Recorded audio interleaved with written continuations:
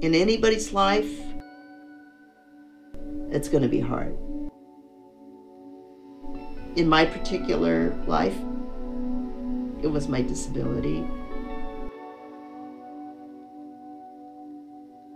God used something like a tragedy, or what people would consider a tragedy in my life, and made something really good out of it, made something really meaningful for me.